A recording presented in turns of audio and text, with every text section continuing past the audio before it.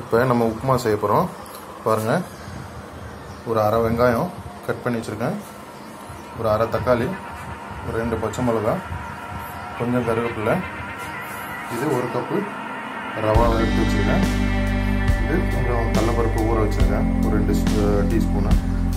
இதை நம்ம வந்து இந்த சூஜியை வந்து வறுக்க போகிறோம் இப்போ வறுத்து எடுக்க போகிறோம் இந்த ரவாவை நல்லா வறுக்கிறோம். கொஞ்சம் இந்த பச்சை போகிற வரைக்கும் ப்ரௌன் கலரில் வரைக்க போகிறோம் ரெண்டு டீஸ்பூன் எண்ணெய் ஊற்றிக்க போகிறோம் எண்ணெய் சூடாயிடுச்சு ஒரு அரை டீஸ்பூன் கடுகு போட்டோம் உளுந்தம் பருப்பு போட்டோம் இந்த ஊற வச்ச கடலப்பருப்பும் போட போகிறோம்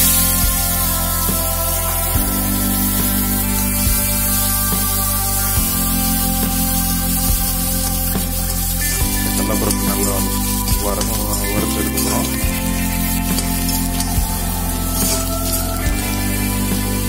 பருப்பு நல்லா வதங்கிடுச்சு வெங்காயம் போடுறோம் பச்சை மிளகாவும் போட போகிறோம்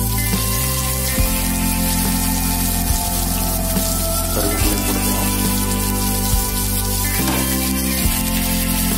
இதை நல்லா ஒரு ஆஃப் பண்ணலாம்